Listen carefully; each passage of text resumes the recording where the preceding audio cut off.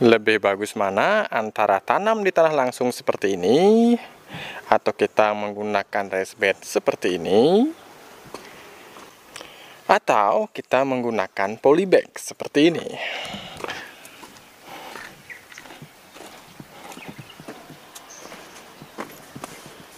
Ini adalah tanaman mentimun yang sudah cukup tua.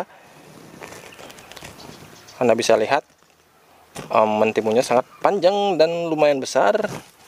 Ini juga saya menanam di polybag.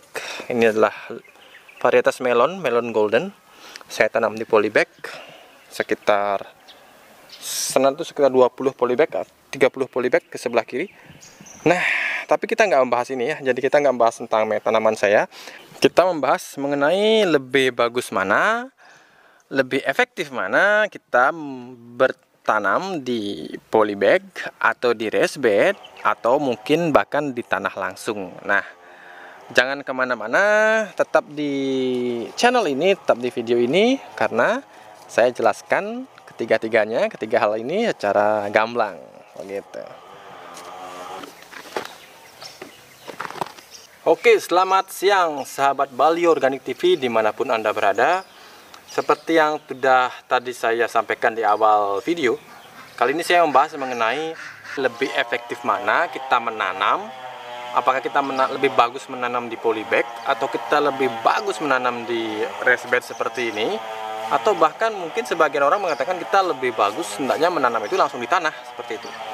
Nah, jadi sebenarnya yang mana lebih bagus, Pak? Nah, seperti pertanyaan yang sering sekali saya jumpai di kolom komentar seperti itu. Nah, kali ini akan saya akan menjawab pertanyaan ini dengan lengkap dan tuntas. Pertama saya akan membahas mengenai polybag dulu ya. Karena di video saya di channel saya maksud saya itu di awal-awal saya bercocok tanam saya paling sering menggunakan polybag seperti itu. Anda bisa cek di koleksi video Bali Organic TV di awal-awal itu sekitar empat tahun yang lalu saya upload video itu kebanyakan membahas mengenai uh, tanam di dalam polybag. Dan sekarang pun masih cukup banyak saya memiliki tanaman di polybag. Nah apa kelebihan? Mengapa saya memilih polybag saat itu? Karena polybag itu kita lebih mudah dalam mengontrol pertama medianya. Medianya kita bisa bikin sesubur mungkin ya. Sedangkan kalau di tanah kita tidak mungkin membuat tanah itu sesubur yang kita inginkan. Nggak mungkin toh kita cangkul tanah, kemudian kita campur dengan arang sekam, kemudian kita campur dengan kotoran sapi, semuanya itu nggak mungkin. Dalamnya tanah kita nggak tahu. Sedangkan kita kalau menggunakan polybag, besar polybag bisa kita atur. Mau ukuran 30, 35, 40, 45, silahkan. Kemudian campuran komposisi dari yang ada di dalam media, yang ada di dalam polybag ini juga kita bisa atur sebisa mungkin. Jadi kalau kita menginginkan kesuburan yang sangat tinggi, kita tinggal tingkatkan saja kadar berian kompos atau kotoran hewannya kita sudah bisa tambahkan dengan perbandingan yang lebih tinggi bila kita menginginkan kesuburan yang lebih. Nah, sedangkan di tanah itu jelas nggak mungkin karena tanah itu ketika akar mencapai uh, kedalaman tertentu otomatis nutrisi yang dia serap udah berbeda seperti itu. Itu pertama kelebihan yang ada di polybag. Kemudian pengendalian gulma sangat gampang seperti yang Anda bisa lihat sekarang. Gulma bisa kita kendalikan dengan sangat mudah. Kemudian yang ketiga penyakit menular. Misalkan penyakit yang menular melalui akar. Busuk akar, busuk batang itu jauh lebih gampang kita tangani seperti itu. Ketika ada satu yang berpenyakitan kita tinggal ambil polybagnya kita tinggal buang. Seperti itu. Nah bila itu penyakit yang parah ya kalau nggak parah ya kita masih bisa obati. Itu kelebihan sederet kelebihan-kelebihan yang ada di dalam uh, penggunaan polybag. Belum lagi usia dalam usia polybag ini cukup panjang. Saya punya satu polybag yang itu usianya sudah 4 tahun masih bagus belum rontok dan masih bisa digunakan bertahun-tahun. Rasanya 4 tahun 5 tahun masih bisa kita gunakan asalkan jangan terlalu sering kena matahari itu pasti kuat. Nah kemudian apalagi ya kelebihannya kemudian berpindah-pindah. Nah kita bisa pindahkan polybag ini ke tempat yang kita inginkan. Misalkan di sini kita mau gunakan tempat ini sebagai lahan parkir atau apa kita bisa pindahkan ke tempat yang lain teman kita. Itu itu sangat sangat berguna bagi kita penggunaan polybag Nah, kekurangannya emang ada. kekurangannya jelas ada biaya tambahan untuk beli polybag. Kemudian medianya terbatas. Jadi medianya terbatas untuk tanaman yang berusia panjang biasanya ya kendalanya di sana. Tapi kalau untuk yang musiman satu kali panen kemudian tanamannya mati seperti mentimun, cabai, cabai rawit masih memungkinkan ya karena cabai rawit perakarannya nggak begitu dalam ya. Jadi cabai rawit yang tertua yang pernah saya diamkan di polybag itu usianya hampir tiga tahun. Anda bisa cek di deskripsi, eh bukan di deskripsi maaf, di video saya yang terdahulu ada cabai yang usianya eh, dua tahun, tiga tahun kemudian masih bagus di polybag seperti itu. Cabai rawit maksud saya ya. Nah kemudian kekurangannya ya pertama biaya untuk pembelian. Yang kedua medianya itu terbatas. Untuk tanaman berusia panjang kurang cocok. Kemudian kurangannya apa lagi ya? Sedikit sih kekurangan dari polybag ini ya. Um, tidak ada sebenarnya kekurangan dari polybag yang harus saya tambahkan. Karena bertanam di polybag itu benar-benar mengasihkan.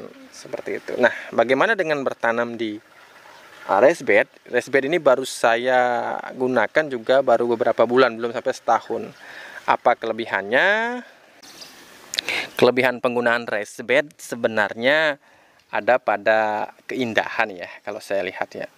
Seperti Anda lihat ah, di depan saya ini ada kangkung yang saya tanam di raised bed terpal, planter bag bentuknya seperti raised bed ya. Karena dia masuk ke dalam kategori raised bed, ini benar-benar seni ya, kayak tanaman hias gitu. Padahal ini kangkung. Kemudian ah, banyak tanaman dalam satu raised bed. Beda dengan polybag yang terbatas, tapi tanaman yang kita tanam di dalam raised bed itu jauh lebih banyak. Juga kangkung. Saya menggunakan raised bed dari bambu, sudah ada videonya di video sebelumnya. Ini bayam, juga saya gunakan raised bed bambu. Kemudian ada tomat yang sudah mulai berbuah di raised bed juga sudah mulai berbunga maksud saya maaf uh, berbunga seperti ini. Padahal ini baru ya cepat sekali ber, ber, berbunganya. Ini belum begitu lama termasuk dia subur pertumbuhannya. Ini juga ada terong. Nah terongnya juga sudah berbunga. Kalau anda bisa lihat sudah berbunga. Ini bunganya ya sudah berbunga. Ini juga masih muda ya karena memang kesuburan di rest bed juga kita bisa atur. Ini kebetulan kemarin melimpah kohe sapinya yang sudah kita dekomposisi. Kita bisa gunakan sebaik-baiknya karena kita menanam tomat, terong termasuk usianya cukup panjang tidak seperti kangkung. Jadi kita berikan kesuburan yang maksimal. Juga ada paprika. Di sini ada paprika. Paprika di sini ini juga sudah berbunga paprikanya sedikit ngeblur ya atau gelap ini ya. Nah, ini sudah berbunga di sini. Nah itu juga kelebihan dari raised bed. Tempatnya lebih lapang kemudian media dan kesuburannya kita bisa atur. Kemudian lebih terlindungi ya tanah itu nggak mudah ambruk ketika kena hujan. Seperti itu. Jadi kalau misalkan hujan kalau kita cuma pakai gundukan biasa itu akan ambruk tanah akan dimakan oleh hujan jadi hanyut dia begitu. Kandungan nutrisi juga hanyut seperti itu.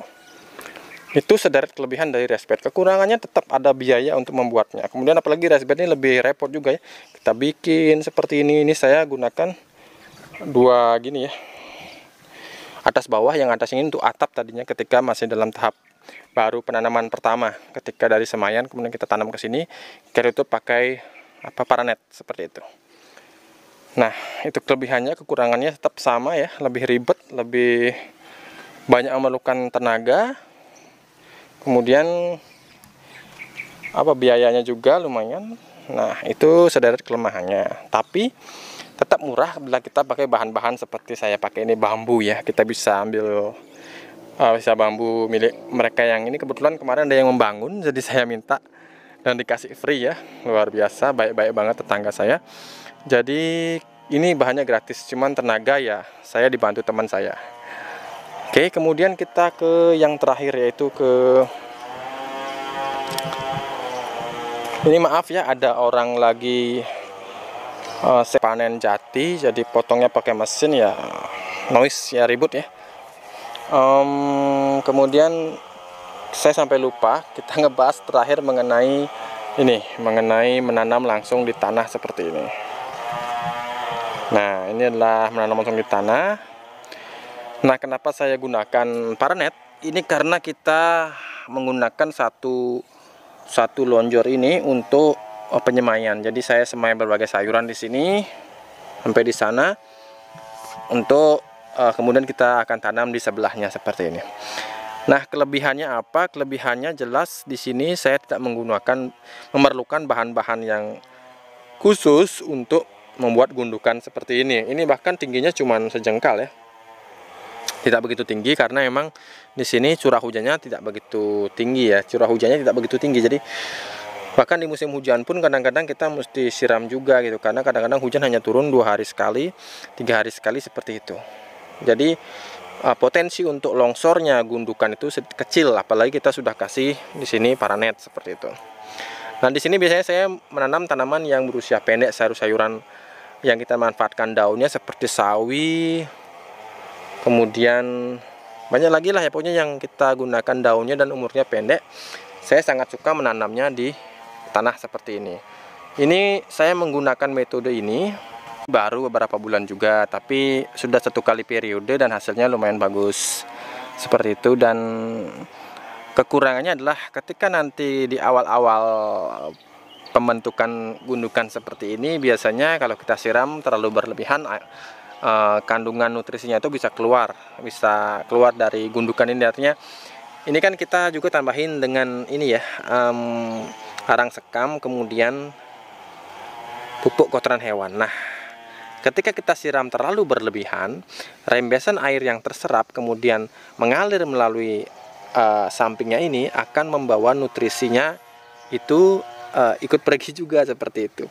Nah itu kita mesti hati-hati. Menyiramnya mesti menggunakan alat yang tidak terlalu keras seperti itu. Bisa gunakan apa kalau di tempat saya namanya co apa cereretan gitu kalau di tempat saya. Tapi kalau di tempat yang lain mungkin kita saya nggak tahu namanya apa ya yang jelas kita gunakan uh, penyiraman atau alat menyiram yang lebih ala kecil debit airnya seperti itu.